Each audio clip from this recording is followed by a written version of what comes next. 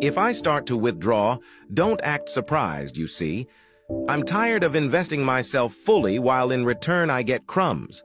I have long been the one who is always there, who offers his shoulder, his time, his energy, but now it's over. Do you want my attention? So make sure you deserve it. I am no longer the naive person I was before, the one who gave without counting.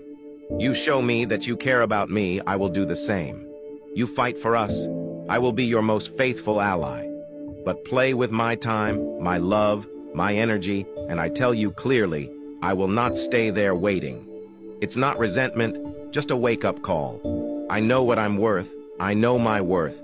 I'm tired of giving without receiving, of loving without being loved in return. So if you see that I'm moving away, understand that I'm protecting my heart, my well-being, and if you really care about me, then show it.